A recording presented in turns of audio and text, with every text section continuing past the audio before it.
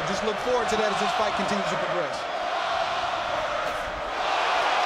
Good looking counter left hand from Crawford. Who's got the physical strength? Who has the size, the length, the speed, all those things. But one thing that shouldn't be missed that I think favors Crawford, the intellect. For my taste. And then on the back end, a right hand to the body, and that's going to be a knockdown score. Look at the knockdown right here. Right hand to the body. You're going to see the left hand coming up right there behind the ear.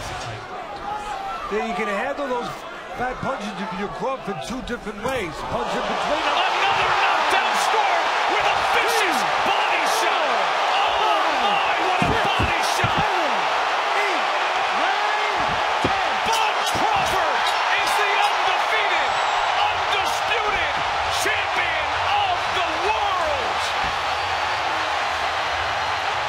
Teddy, take us through it. Well, I was just talking about with fat punches, you can punch in between them. And that's exactly what Crawford did. Just watch. Wide punches create holes. There's a big hole underneath. Left hand to the body by the southpaw Crawford.